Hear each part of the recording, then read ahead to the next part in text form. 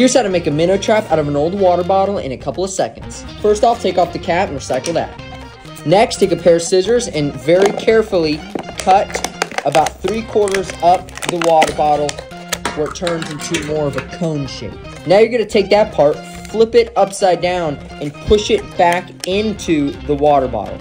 Now take a couple of pieces of dog food and drop them down into the water bottle trap. And just like that, your minnow trap is done. Okay, now we got our homemade minnow trap, and I'm gonna go ahead and fill it with water and sink it in a little spot that I know there's a bunch of minnows. And we're gonna leave it for about 30 minutes and come back and check it. Okay, so it's only been like 20 minutes, but we're gonna go ahead and check our minnow trap.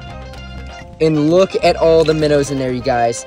You guys can see all the minnows in there swimming around, big and small. This is a great way to catch minnows and a fun little trap to make.